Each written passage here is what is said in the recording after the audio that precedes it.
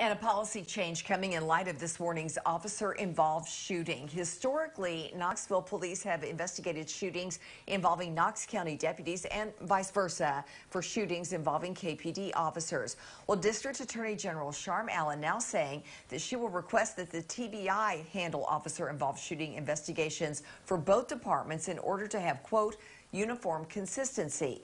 Allen says she's been discussing this move with KPD Chief Eve Thomas and Sheriff Tom Spangler, and the leaders decided to follow the majority of their colleagues across the state.